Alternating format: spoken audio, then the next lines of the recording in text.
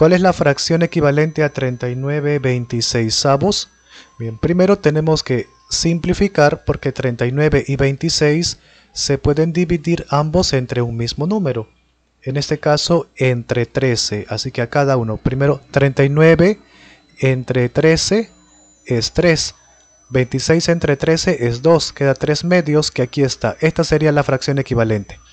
Esta salió diferente, ¿no es? Y acá, cuando se puede simplificar, por si acaso simplificas. 4 y 10 ambos se pueden dividir entre un mismo número, entre 2.